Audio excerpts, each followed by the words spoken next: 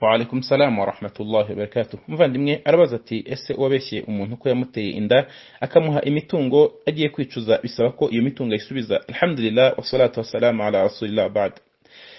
Kubeshyera umuntu ko yaguteye inda cyangwa se ko yateye inda ibunaka ni icyaha mu byaha ndengakamere ni icyaha mu byaha ndengakamere ni icyaha mu byaha byoreka. Bya byaha nyagasani Allah subhanahu wa ta'ala ubikoze inshuro nyinshi nyagasani amwihutishiriza ibihano bye hano ku isi n'ejo ku munsi w'imperuka akazisanga afite ibihano bikomeye cyane imbere ya Allah subhanahu wa ta'ala. Kirazira kikaziriza ko umuntu ahimba ikosa nk'iryo ngiryo cyangwa se agahimba icyaha nk'icyo ngicyo cyangwa se akavuga imvugo nk'izo ngizo kabone n'ubwo haba hari impamvu ituma ashobora kuvuga imvugo nk'izo ngizo kirazira ko icyo kibi gisohoka hagati y'abagikoranye ngo kibe cyajya hanze. Hagire noneho n'uwifuza kugira ngo acyungukiremo yaba ari umutungo agishakamo yaba ari ishema agishakamo yaba ari ibyo akeneye ko afashwa kugira ngo afashwe binyuze muri icyo cyaha ibyo ngibyo ni haramu ni bibi ni n'ikibi nta nubwo binakwiye kumwemeramana ntibinakwiye no ku muyisilamu. Usibye n'umuyisilamu n'uwo ari wese mu nyangamugayo ntabwo akwiye igikorwa nk'icyo ngicyo. Icyo kinyoma gikubiyemo ibyaha byinshi cyane. Uyu muntu akeneye kwicuza kugira ngo agaruke imbere Allah subhanahu wa ta'ala. Kubera ko icya mbere harimo ibyaha by'ubusambanyi. Harimo ibyaha by'ubusambanyi bwaba ari ubusambanyi bwemejwe ijana ku ijana cyangwa se iyegera busambanyi ryageze ku rwego rwo kuba umuntu yabasha guhimbira mugenzi we ko yamuteye inda ubwo ibyo ni ukwegera ubusambanyi byo mu rwego rwo hejuru rumwe rukabije. Byaba habaye ubusambanyi icyo ni icyaha ndengakamere baba begereye ubusambanyi kugera kuri urwo rwego rushobora kuvamo inda na byo ni icyaha ndengakamere ibyo ngibyo bigomba kwicuzwa ko Allah subhanahu wa ta'ala bigasabirwa imana imbabazi. Harimo icyaha cyo kubeshya na cyo ni icyaha gikomeye cyane mu byaha ndengakamere ni icyaha intumwa imana sallallahu alaihi wasallama yavuze ko umuyisilamu ashobora gukora ibindi byaha byose ariko yakirinda kubeshya adashobora no kubeshya. N'ubeshye uyu nguyu aba akoze icyaha mu byaha ndengakamere harimo ibyaha byo kubura ubunyangamugayo muri isilamu no kubura ubunyangamugayo ni icyaha gikomeye cyane ni n'ikibi kubera ko byegereza umuntu ibindi byaha byose. Harimo icyaha cyo kurya amahugu. Harimo icyaha cyo kurya amahugu. N'uyu nguyu uriya amahugu akayarya kuri uru ruhererekane rw'ibyaha.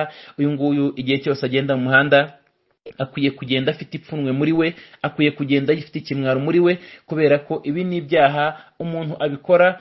Nyagasani ntiyongere kwakira ubusabe bwe amarira ye nyagasani ntayumve ubusabe bwe nyagasani ntabwakire agahinda ke nyagasani ntakamenye n'ibyishimo bye nyagasani ntashimishwe na byo kubera ko uyu nguyu ari umunyamwanda kandi ari mu cyaha gikomeye. Intumwa y'imana sallallahu alaihi wasallam muri hadithi sahih yagaragaje cyangwa se yeretse abasahaba umugabo wari ku rugendo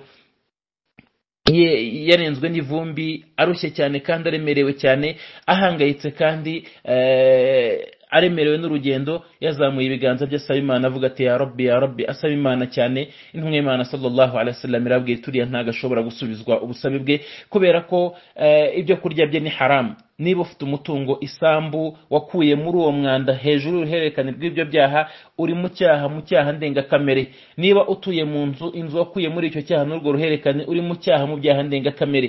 Niba uri mu myambaro wakuye muri uwo mwanda uri mu byaha ibyaha ndengakamere. Niba uri mu kazi akazi wakuye muri iyo myanda ni icyaha mu byaha ndengakamere. Intumwa y'imana sallallahu alaihi wasallam yaravuze iti uriya ntashobora gusubizwa ubusabe bwe kubera ko ibyo kurya bye ni ibya haramu ni amahugu niyo myanda nk'iyo ngiyo twavuze. Ibyo kunywa bye ni uko nguko. Imyambaro ye ikomoka aho ngaho. Ubuzima bwe bwabayeho muri haramu n'intumwa y'imana mu yindi hadithi ikavuga iti buri kinure cyazanywe n'icyo kurya cya haramu. Umuriro wa jahannama niwo ugikwiriye kandi ni nawo uzagikamura. Ahangaha rero umuyisilamu agomba kwihutira kwicuza kwa allah subhanahu wa ta'ala ava mu mwanda nk'uwo asubiza ayo mahugu ayasubiza ba nyirayo atitaye ku gisebo n'ikimwara azagira nibamara kumenya ko yari yarababeshyeye atitaye ku gisebo n'ikimwaro azagira nibamara kumenya ko ari we wari warahuguje cyangwa se ari we wari waratwaye uwo mutungo cyangwa se ko yawutwaye mu mahugu ibyo ngibyo ntacyo bivuze imbere y'ibihano bya Allah subhanahu wa ta'ala. No mu ntambwe zo kwicuza harimo intambwe yo kwakira icyo gisebo n'icyo kimwaro ukacyakira kubera imana aho kugira ngo uzacyakire ejo ibyawe byagiye hagaragara nta mana iri buguhembe nta n'umuntu uri bugushime ariko iyo ntambwe watera ubwayo ni intambwe ikomeye igaragaza kwicuza kwa Allah subhanahu wa ta'ala bityo uwaba afite umutungo uwo ari wo wose yakuye muri izo nzira cyangwa se mu zindi nzira za haramu ntashobora kwicuza kwa Allah subhanahu wa ta'ala atabanje gusubiza uwo mutungo. Niyo uwo mutungo waba wararangiye afite ingurane yawo asabwa gutanga ingurane y'uwo mutungo kubera ko n'ubuhuguzi yahuguje abandi hanyuma akanicuza n'Imana no ku bindi byaha byabanjirije icyo ngicyo kugira ngo agere muri ayo mahugu wallahu a'lam.